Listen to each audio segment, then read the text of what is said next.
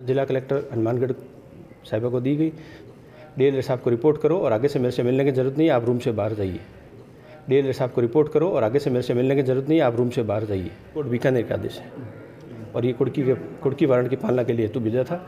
और ये कुड़की के, कुड़की वारंट की पालना के लिए हेतु भेजा था। उन्नीस वर्ष से ठेकेदार का बकाया बिल होने पर जब वाणिज्य कोर्ट बीकानेर के आदेश से कमिश्नर नियुक्त जो किए गए थे, सिंचाई विभाग कार्यालय को कुर्क करके और सील करके जब कलेक्टर हनुमानगढ़ कार्यालय को सील और कुर्क करने पहुँचे तो कलेक्टर और कमिश्नर के बीच में हुई गर्मा गर्मी आइए सुनते हैं कि पूरा मामला क्या है। ये जो मैसेज खाना रामेश्वर लाल मानाराम की रिपोर्ट में जो मैं कॉमर्शियल कोर्ट, बीकानेर से जो आदेश लेके आए थे कुड़की वारंट उसकी पालना हमने रावत सर आई में कुड़की कर ली है और माननीय कलेक्टर साहब कार्यालय आदेश का भी हमारे के पास आदेश था। इसकी सूचना हमने जिला कलेक्टर हनुमानगढ़ साहिबा को दी गई तो उन्होंने ये कहा कि हाँ हाँ हम देख लेंगे। डी साहब को रिपोर्ट करो और आगे से मेरे से मिलने की ज़रूरत नहीं, आप रूम से बाहर जाइए। ऐसा करके उन्होंने कहा, उन्होंने बात हमारी पूरी सुनी भी नहीं, ना समझी, पता नहीं कितनी समझी हुई जाने। लेकिन उन्होंने उसकी जो कोर्ट के आदेश हैं उसके पालना में हमें कुछ भी नहीं बताया। न्यायालय के जो आदेश आपने कलेक्टर को को दिखाए या नहीं नहीं बिल्कुल दिखाई दिया उन्होंने उन्होंने मेंशन किया फिर मैंने उनको आपको मेंशन करने ज़रूरत नहीं तो फिर उन्होंने वापस उसको काट भी दिया। ये कॉमर्शियल कोर्ट बीकानेर का आदेश है। कुछ नहीं किया तो जो रिकवरी थी वो ऑलमोस्ट सत्तर लाख रुपए की थी।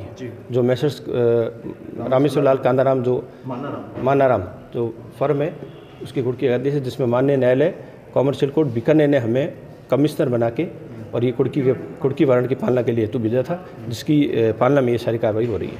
मेरा नाम गिरिराज व्यास। आगे। कार्रवाई अभी जैसे कि कार्रवाई चल रही है अभी तक पूर्ण हुई नहीं है। ये जो भी होगा उसकी रिपोर्ट रिपोर्ट कोर्ट को की जाएगी।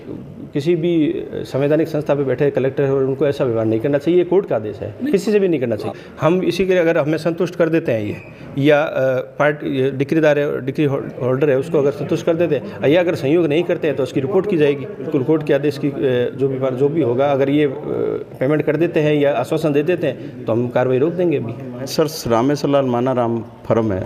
उस फर्म की लगभग सत्तर लाख रुपए की रिकवरी है, उसके लिए जो दावा किया हुआ है, उस दावे में कोर्ट ने डिग्री पास की और डिग्री के पालना के लिए एग्जीक्यूशन प्रोसीडिंग वाणिज्यिक न्यायालय बीकानेर में पेंडिंग है। उस वाणिज्यिक न्यायालय बीकानेर ने उस लगभग सत्तर लाख रुपए की वसूली के लिए, वसूली के लिए अधिशासी अभियंता, सर्वे एवं अन्वेषण रावतसर प्रथम खंड, इगनप्पा एवं हनुमानगढ़ जिला कलेक्टर के विरुद्ध कुड़की बांड जारी किए हैं।